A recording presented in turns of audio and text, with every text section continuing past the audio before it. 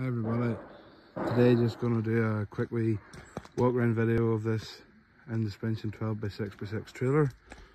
Um, so we'll start at the front. You have a folding front flap, up or down for airflow, um, opening front right hand lower door, uh, folding top vents on this. So we'll look on this side they're closed.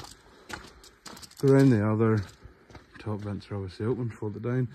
Double doors on the left hand side, spare wheel, brake axles off the sight on this trailer with LED marker lights at the bottom as well as at the top, front and rear. Stainless steel mud guards, um, full stainless steel and galvanized construction. This is a tandem axle, the 14 foot trailer is available on triaxle.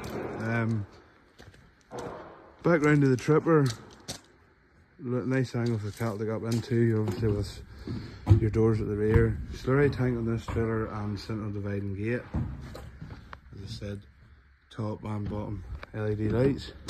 Um, slurry tank drain down in here.